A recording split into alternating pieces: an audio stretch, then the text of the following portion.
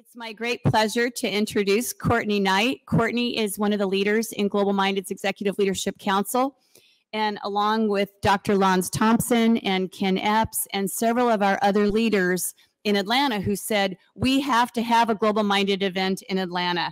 And I know a lot of people say they can't say no to me, but you cannot say no to these folks when they say something like that. You just galvanize the resources and go, let's figure out how to make it happen. So let's give a big round of applause to Courtney Knight. See you. in person. I can't either. We've only had a Zoom relationship. So quite a treat.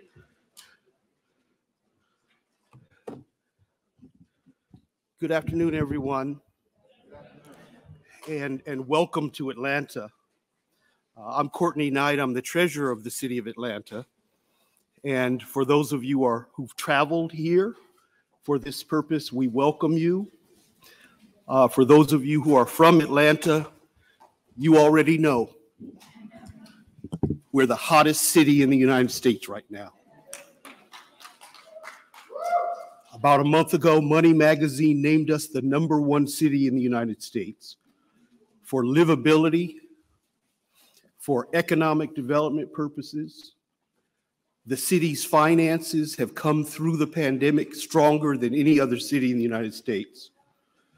Uh, we just closed a $400 million bond issue yesterday, uh, providing for streets, bike paths, walking trails, parks, uh, community centers, public safety, fire stations, police stations.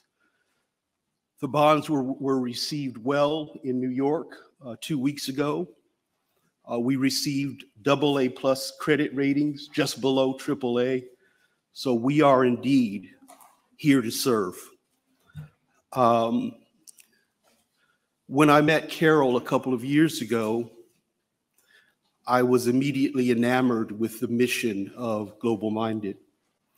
Um, I grew up in a single parent household in Phoenix, Arizona. Our family understood the value of education. Great grandma used to say, that's one thing that they cannot take from you. My mom worked hard, bless her soul. Sometimes we moved two, three times during the school year while she was trying to stay close to her job. But I had a guardian angel tap me on the shoulder uh, senior year in high school. And I was blessed to go to Harvard College, graduated from there with honors, uh, and then uh, attended Stanford Graduate School of Business to get my MBA. So I understood what it meant to overcome the challenges that many of these first gen to college kids experience. I understood that it only takes that angel tapping you on the shoulder to create an opportunity to change your life, to change your family's trajectory forever. Uh, and once I learned what the mission of GlobalMindED was, I was all in. I've been dedicated to expanding the work of GlobalMindED, finding them strategic partners, uh, opening up the doors to that organization across the country in every way that I could. Uh, so I'm here to greet you all this, this afternoon. Uh, hope that your day goes well. I look forward to meeting as many of you as I possibly can. I definitely want to talk to the students that are here and let them know what it can mean to have that opportunity to change the future of your family forever. Uh, with that, I'll turn it back over to the dais. Uh, so, so wonderful to see my friends here. Uh, my wife is a Georgia Tech alum. Uh, her girlfriends are in the house. And uh, we see you, Georgia Tech. And uh, thank you all for coming to Atlanta. Okay, she next? Okay, all right. Absolutely. Uh, and so one of my wife's best girlfriends, uh, it's amazing to me. I went to Harvard and then we dispersed all across the world, the country. So I have my friends, uh, my homies across the United States, but we're on a Slack channel, we're on Zoom, we have a monthly Zoom call, uh, but we're dispersed all over the place. It's amazing to me that my wife and her girlfriends came into Georgia Tech as freshmen some of them roommates. And here we are 30 years later, and they're all still just the best friends right here in Atlanta. They go to dinner together, they celebrate one another's birthdays. So I met Dr. Sybrina Atwaters uh, when I was actually dating my wife and um, have become close friends with her. Uh, I honor the work that she does here at the university with minority students. Uh, and I'd like to introduce you to my dear friend and my wife's best friend, Dr. Sybrina Atwaters.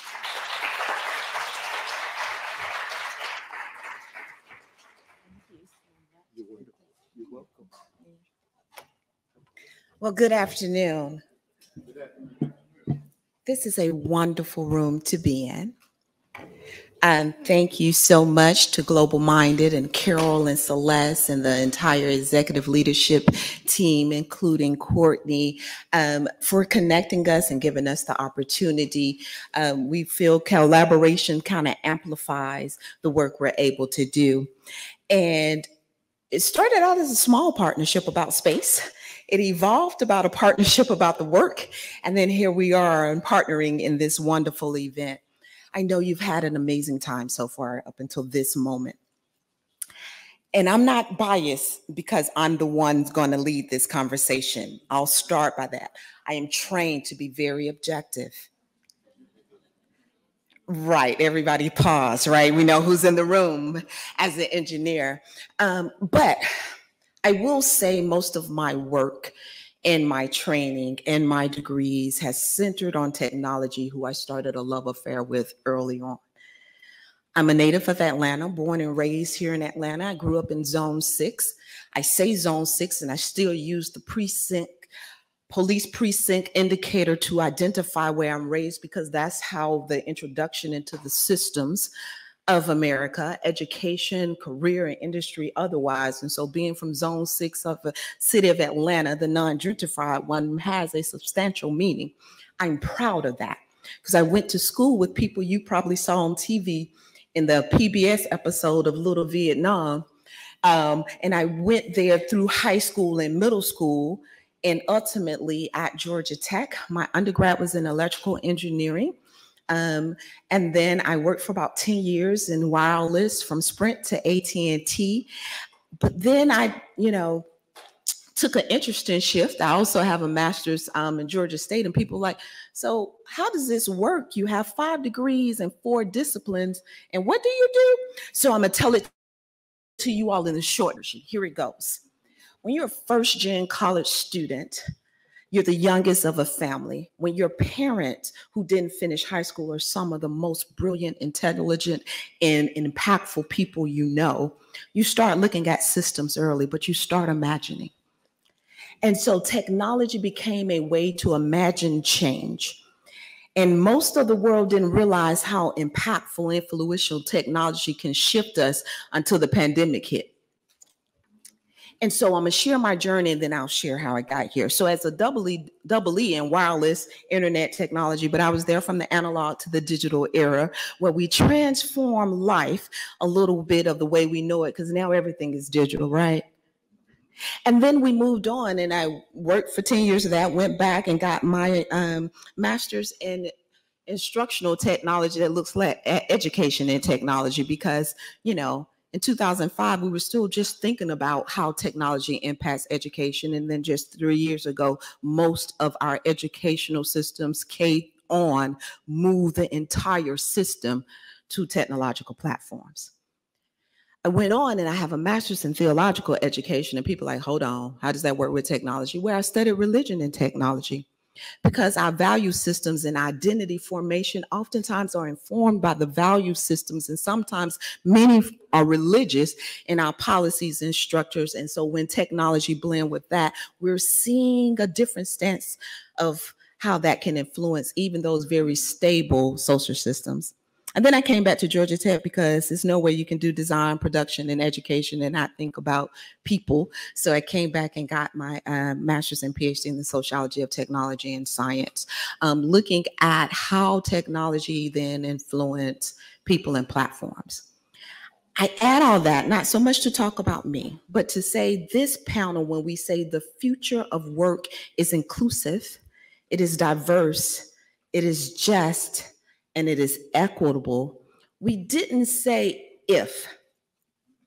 That means we've already made the resolve. That is the future of work.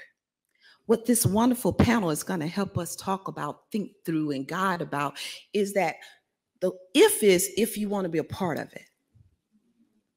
Then how do you make sure your organization, educational, industry, business, nonprofit, policy, wherever you stand, is going to be diverse, inclusive, just, and equitable, or it just may not be at all? So, are we ready to have the conversation? All right. So, without delay, please help me welcome to the stage this wonderful panel across sectors of work. We have Dr. Loretta Ovueraye, Vice Provost of Miami-Dade, James Rhee, CEO and founder of Red Helicopter, Petal Walker, Managing Director of Deloitte and Touche, and my friend Guy Primus, who is the CEO of Community, Valence Community. Thank you all for joining us. That was the longest applause in the history of conferences. and you came up last, so you know it was really probably was all for you, Guy. I think, I right? so I'm going to join you all down here. I don't need this.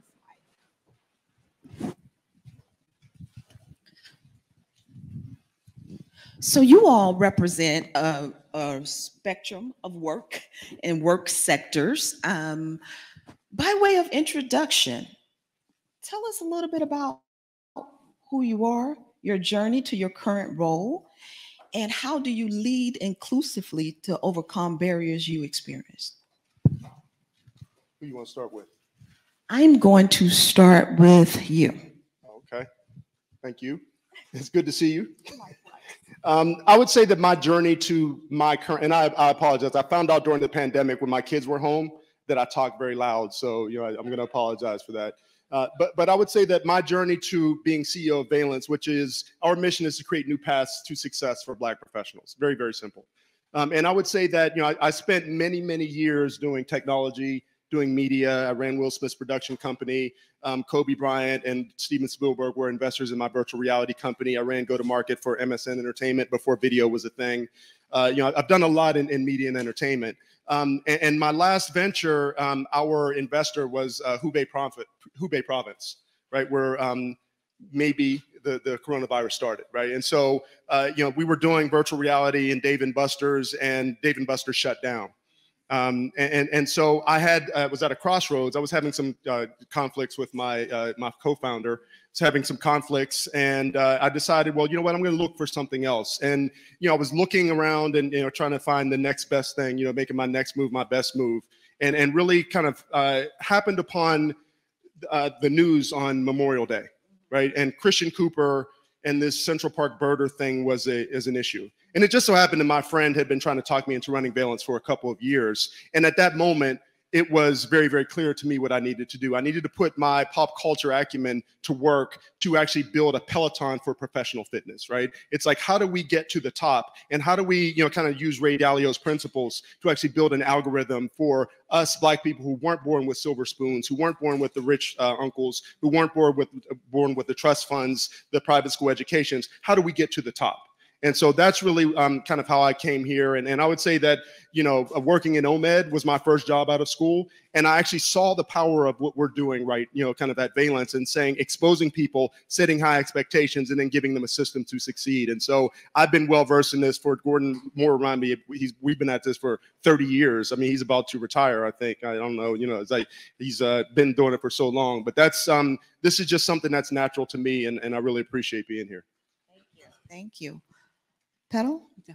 Uh, my journey started, um, I was actually born in Guyana in South America, uh, you know, in a poor rural area. I came to America when I was six to a poor urban area in Queens in Jamaica, Queens. And that was quite the change. It's one thing to be poor in a rural area where you're not quite clear that you are poor, but in the urban area, you definitely felt it.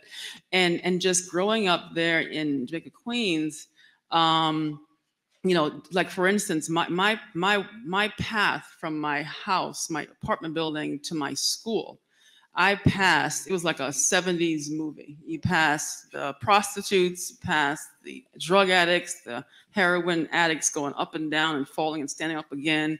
You pass the, the whole nine. They had a brothel along the way, and so there were so many headwinds against me as I was coming up. I actually remember going with my mom, who was a single mom, to um, to get her TV fixed, and she couldn't afford it. And the guy just casually said that, you know, in exchange for a few hours with me, he, he fixed her TV.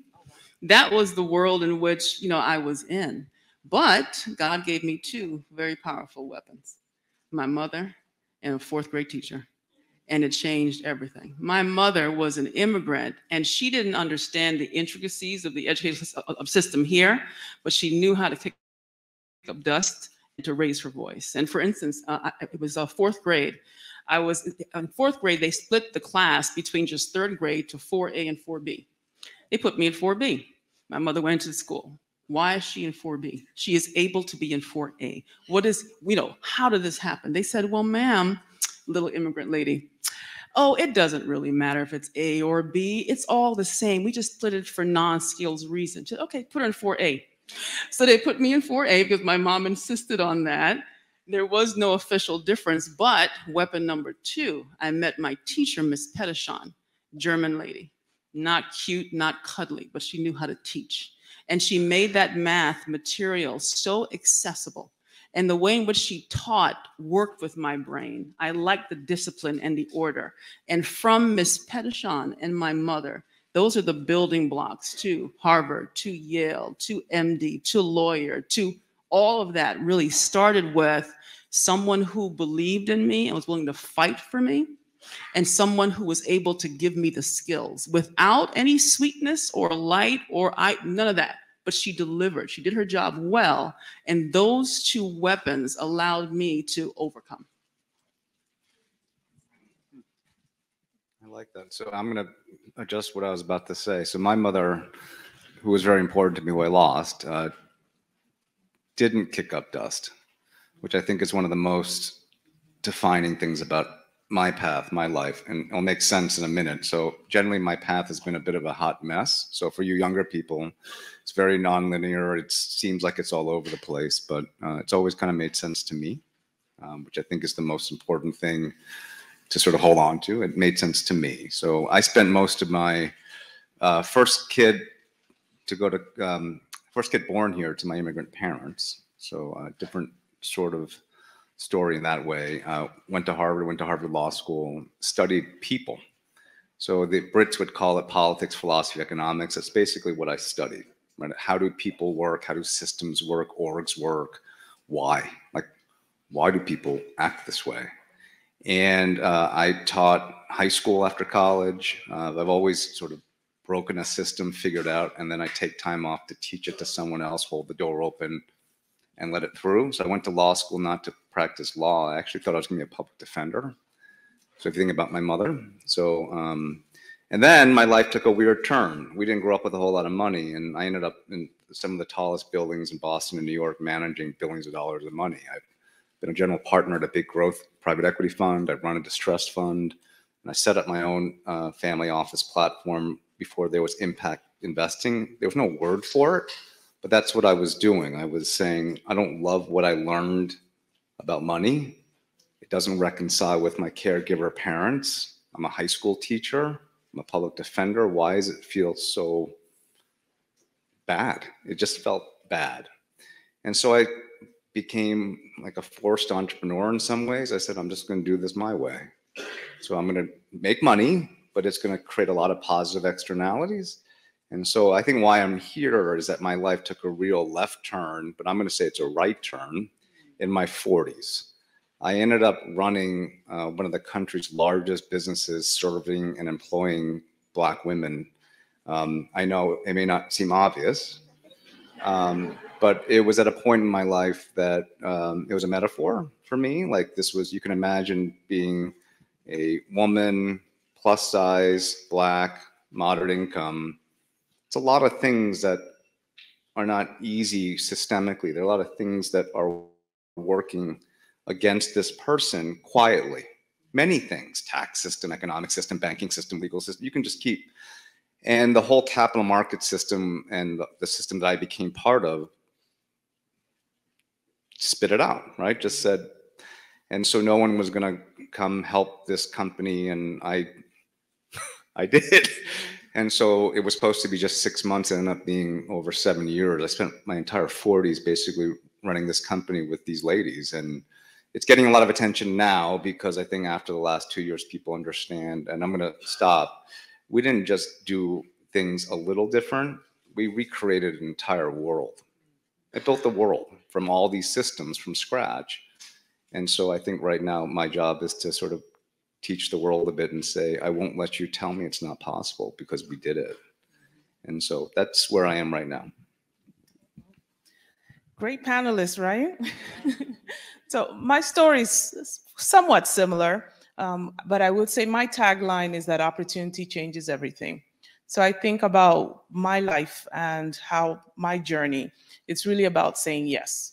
So my family is relatively middle income. Um, at that time it was it looked like middle income but when i reflect back it was close to poor but it, we felt good being where we were um, but during the summers my dad would ask what do you want to do and i'd say i want to work so we he would help me at his company get a job and i would work there and one thing that i recall back that is the running thread in my life is that when others were playing, I would sit beside the computer guy and say, What are you doing? I don't understand it. So I would ask him a lot of questions. And before email became hot, I knew how to use the email system because of this gentleman.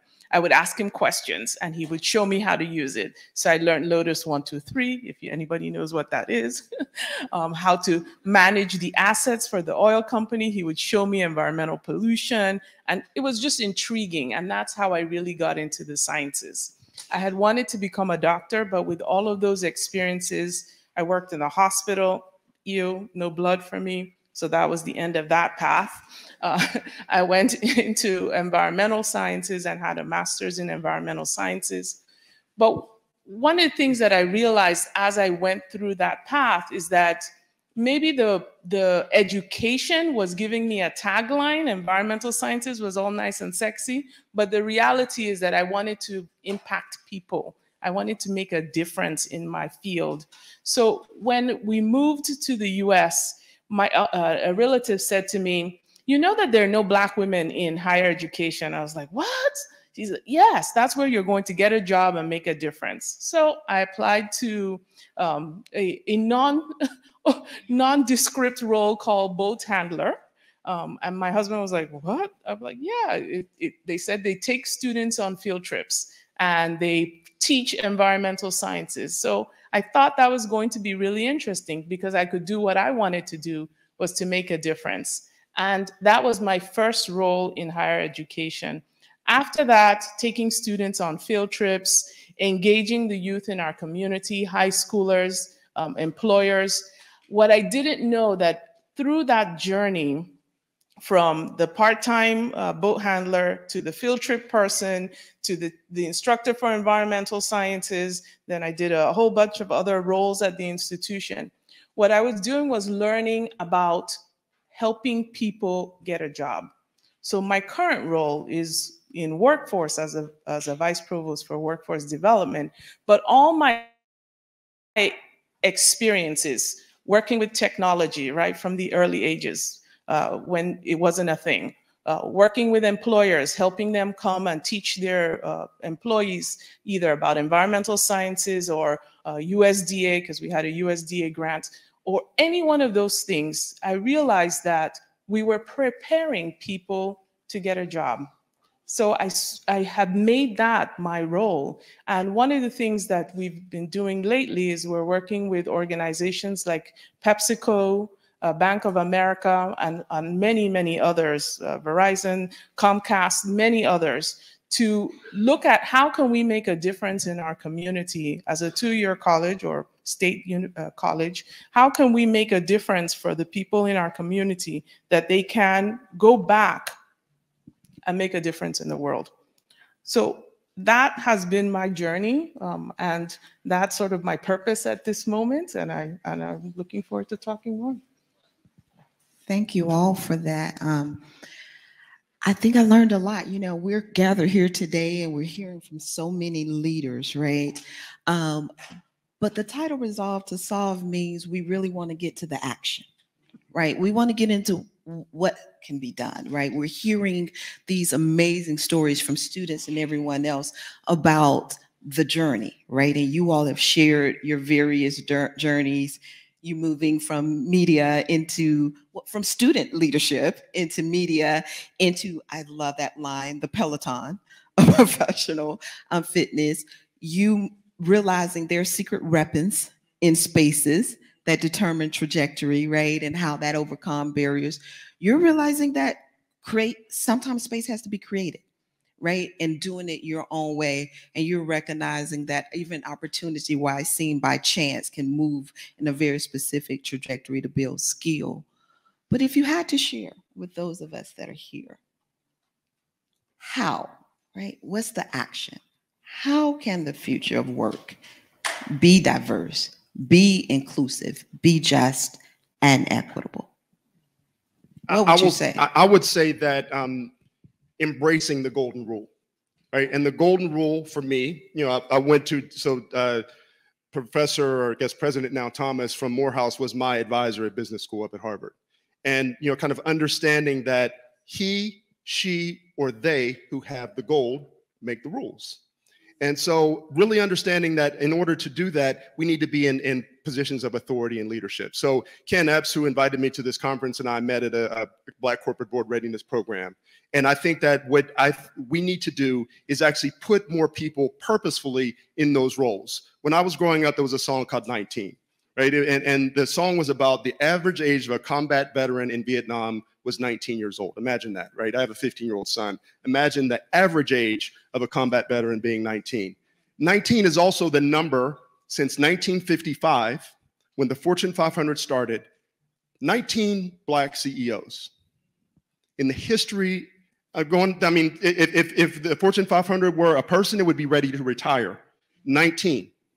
Five right now, right? So we need to work purposefully to get people into those roles. I make it, and, probably not a popular notion here in Atlanta, but I make a, pur a purposeful trip to shop and support Marvin Ellison. I won't say what company he works for, but you know, it's a competitor to a major company here in Atlanta. I, you know, I, I shop at Walgreens because Roz Brewer and I worked at Starbucks together, and I, I shop with her. And I, I think it's really it, we have to be intentional about getting Black board members, board members of color, uh, women board members, uh, disabled board members, my son and daughter have ADHD, you know, neurodiverse board members. We need to get all those people in because that's the only way when, when you're in that position of power that it's going to change. Thank you for that. Dr. Herrera? So I would say for a young person is you need to say yes. Um, have you seen that movie where they said uh, say yes every day for everything, right? Uh, it's really powerful when you say yes, because what happens is it opens other doors. So, for example, Carol said to me, Why don't you come be a part of this uh, panel uh, in June? And I said, Yes. And here I am a couple weeks, um, months later saying yes again. And this time I came with some students. So, we're very happy that they said yes too. But why I say yes is that you open doors and bring people with you, right?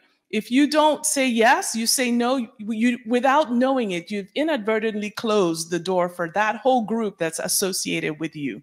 So think about the people you've come in with today. You've met new people. You said yes to that smile that looked at you a little unsure whether they should say hello or, or not, right? And that opened a conversation. You're like, wow, mentally, I didn't know that this could happen. But saying yes, I think, is very powerful um, because it connects you to other people and it opens doors for all the people around you. Um, there was a time where uh, someone said to me, Oh, I'm so glad to see you, a Black female, you're doing this. And in my mind, I'm thinking, I just said yes to be there. I didn't really think about the impact of my presence in that space, right? So my my thought is just say yes. Sometimes it makes a it goes a long way.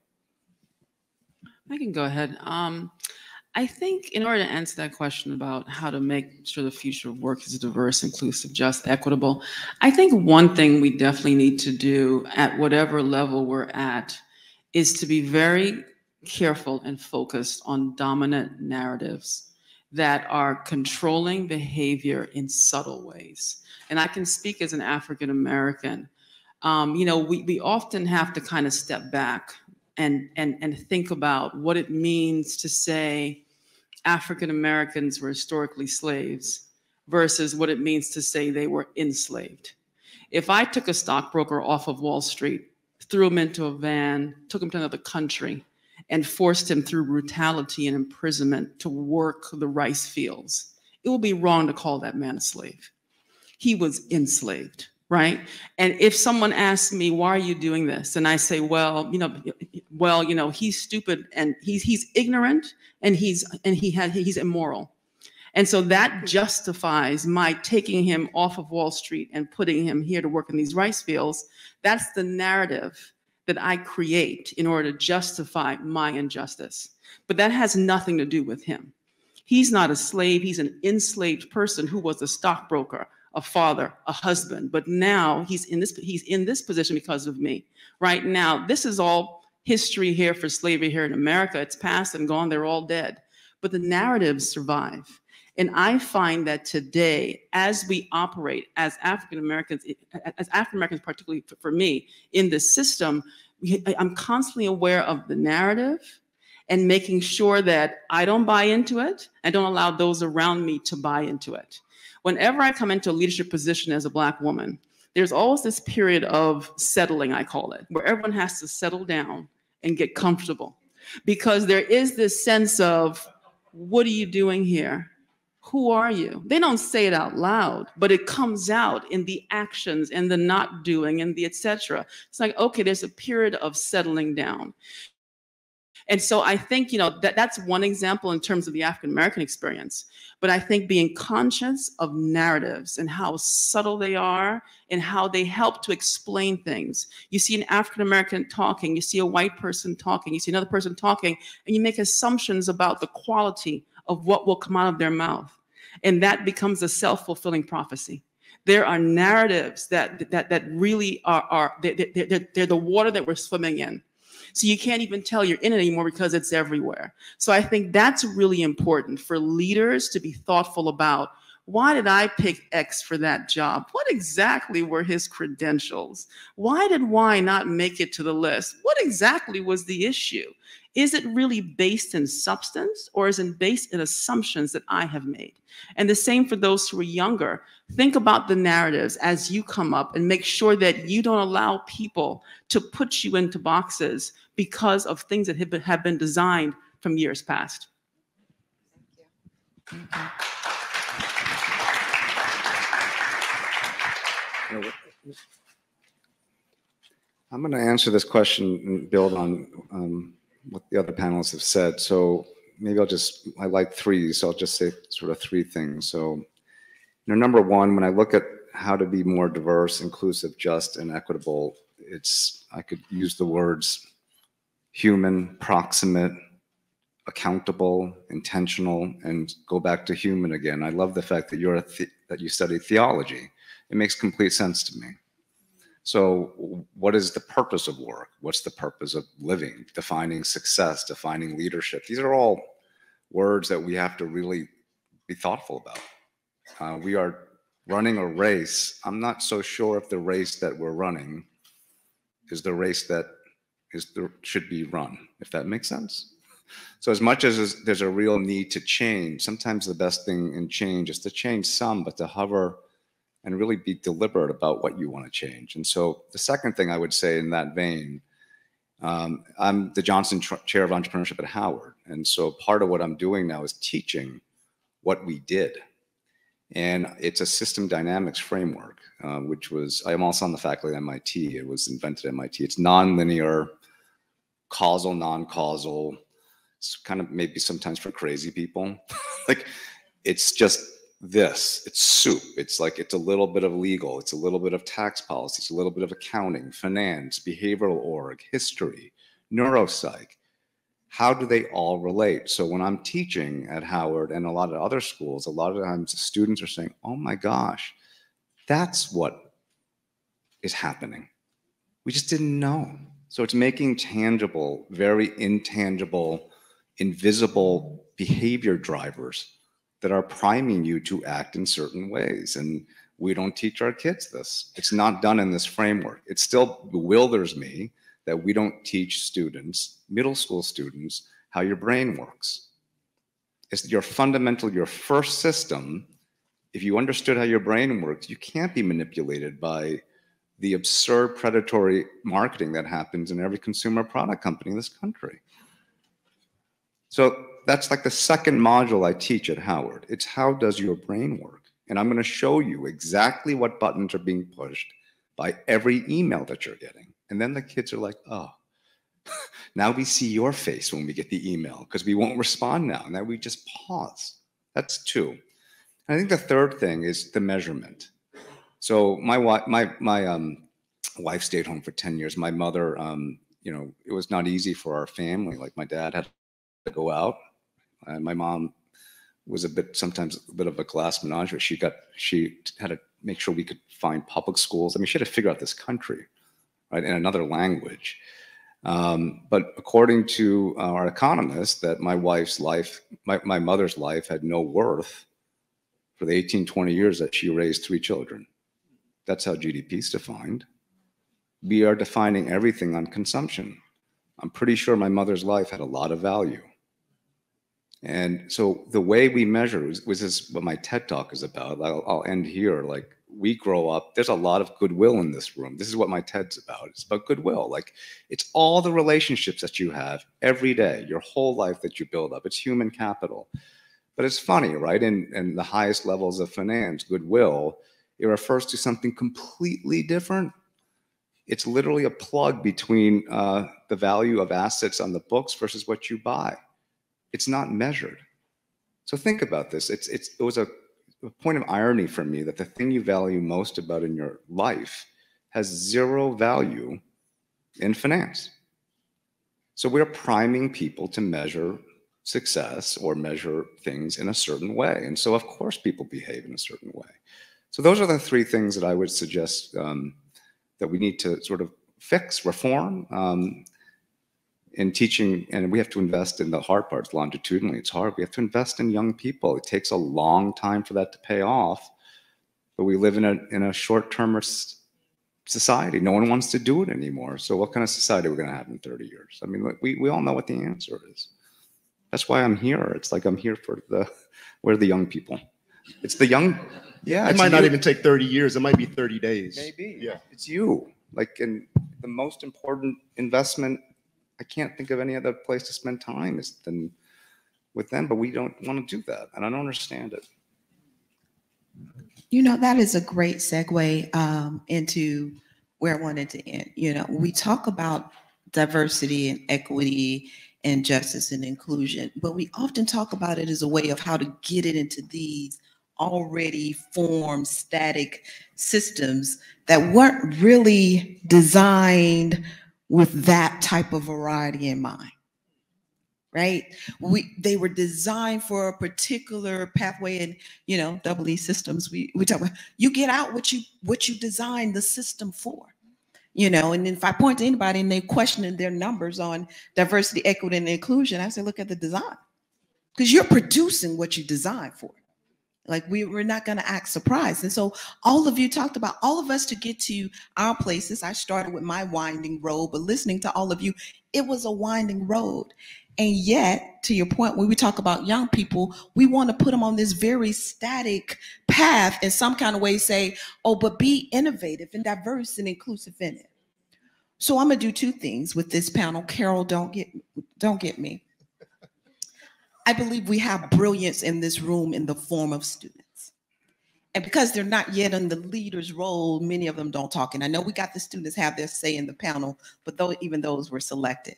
We have many students in this room. So with the last five minutes, I'm gonna turn it over to them. And so if it's one or two students with a question, I'm gonna ask you, prepare your thoughts. You can direct it to anybody up here.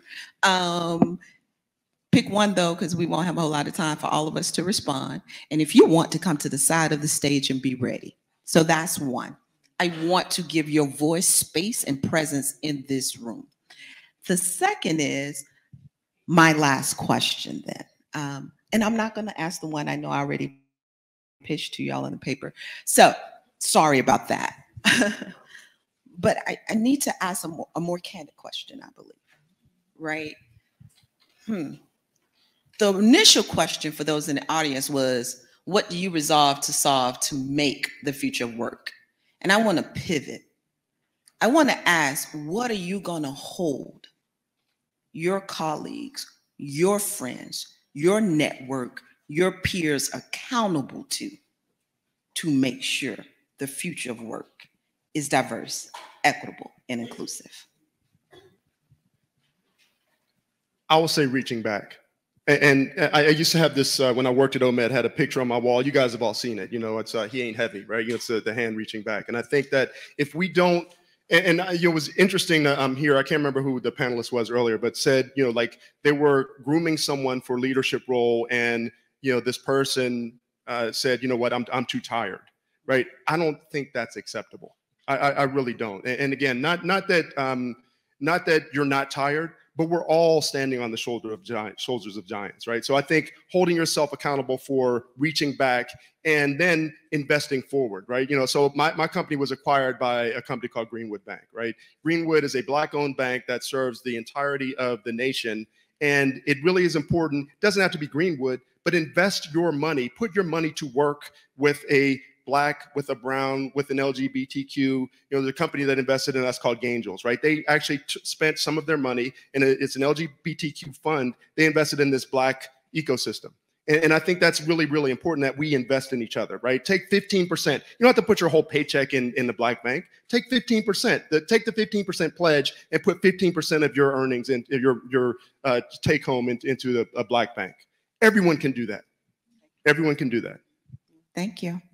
I think um, for me, working with the, my colleagues, but also with my clients, it's about helping them to understand that the, the location of the money has moved. Because the motivation, you have to think of people's motivation. The motivation for my, my clients and my colleagues, understandably so, is where is the money? And the future, the world has changed. The pandemic has changed the world. Immigration has changed the world. The world now is darker. The world now is younger. People you're hmm. selling to have changed. And so, key to that message is being able to help them to understand that reality has moved. And if you want to find the money and you keep looking in the same direction, the money has been moving. Digital assets is also a focus of mine, understanding that the market has moved. And I find that that, that is a great motivator because you take the shiny object that people are chasing and you move it here, their eyes will follow the shiny object. And then you can explain, here's how, you know, here's how we, we address this. Here's how we make you we, we, we, we make your company work within the, the new reality. So that's the approach that I take. Yeah, I love that. Uh, so 10 years ago, part of why I ended up having to pivot my life that way when no one else came, I was saying to people uh, as an investor, I had two predictions. It was I was long women, as in every way, um, change agents, entrepreneurs, leaders, long women, long people of color, and I used to call it brown, a spectrum of brown. And then when they met, women and brown, I was super long. And so part of this, the first few years, uh, building this world that we built, it was a little bit of deprogramming and asking, do you know what it feels like to be the majority? It took a while, right? To really, and then, ah, and I could see it in uh, my employee base, customer base. There was a, once that happened, it just you know, it and it was very inclusive the other way. Like we used tech. We imported like 40% of our e-com business ended up being from white neighborhoods. And I earmarked all that money and I invested that money, the profits, into black neighborhoods, into tech. Uh, we were reverse pull up, the polarity of capital reversed. And I and it was on purpose. And I tracked it. So it was very inclusive the other way. And so it was a real lesson where I also said, listen, um, money is green, right? So money is that that money is good too because you do need re, in reality you need it to fund some things. So that that's how I would think about things. It's a it's a, it's a mindset thing. It's very hard, but that's the prediction for the future. Certainly, the country that I I hope to see. Well said. For me, I would say authenticity. Because um, if I was going to hold other people accountable, I would want them to know that I'm authentic in my practice. Um, and I would also want to hold them to be authentic in their practice. Um, for example, simple things like you have a, a, committee that you're putting together, and you want that committee to be able to be the voice, whether it's a student committee, an advisory committee, ensure that the committee is a diverse group of individuals. Sometimes that's hard. Uh, it seems easy when you're in a space to just say, oh, I'm going to get this committee together. But you need to stop and look does it represent male, female? Does it represent the different ethnic choices or groups in that community? What are you trying to have this community? Because whatever decision they make, they will it will impact that group forever and ever or decision forever and ever right? So just being authentic in your practice and ensuring that you stop, look at the data. Does it really tell you what you're wanting to tell, or you're trying to mix it up to make it say what you want it to say, right? Because that happens too. Uh, and we have to be very careful with data uh, because it can be used to say things that can either make the system the way the system is or make it look something different. So we have to really be authentic in our practice in simple things, simple everyday things, and in those big things that have long term reach. That would be my. Thank you. Excellent. So, did I have any students take? I have one. Perfect. Uh oh. All right. We're going to pick one though. We really are. I know. You know, I love it. And you got to the stage first, so it is you. Um, good afternoon, everyone. My name is Adana McBride, and I am a current sophomore majoring in economics um, with a business concentration at the illustrious North Carolina A&T. And my question is for you, Mr. Ray. I don't want to pronounce it wrong. Um, Ray. Okay. yeah. So, um, as an economics student, I'm struggling currently trying to figure out what I want to do and what path I want to take. But as I said and listen to you, um, in all sense, I basically want to do what you're doing and want to kind of follow that pathway. Um, so my question for you is, um, what was it that either clicked or the person or what would that told you like this is the path you wanted to take like this is what you ultimately wanted to do um in your life I, I, it took me a while to realize that school only starts after you graduate. You, it never ends. So that's one thing my parents never really taught me that you're supposed to keep learning forever. And you know, as adults, you figure you know everything. And like, I've really, I'm 52 in February. I feel like I'm 12. I'm in a mode of like just I feel really creative, really young, and I'm like, I'm not supposed to know everything. Whoever thinks they're supposed to know everything in this world right now is don't listen to them. Right. And so I kept learning like all these things, and I didn't view anything as a waste because it made sense to me. I was like, oh, this is how they connect. So, like the causal stuff was more important. So, you learn A, you learn B, you learn C. But what they don't teach as much is how does A relate to B, relate to C? And if you adjust C, what happens to A? So that's a system dynamics framework. That's number one.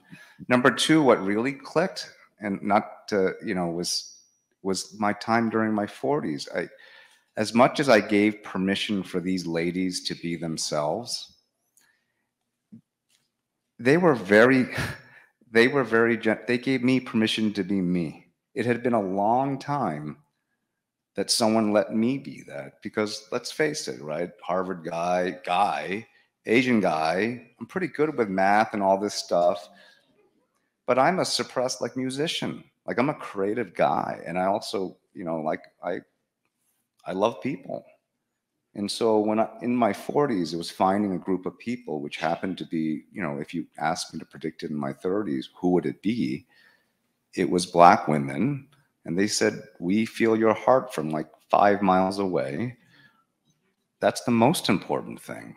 And it was such a that, right? I was like, You actually really understand me.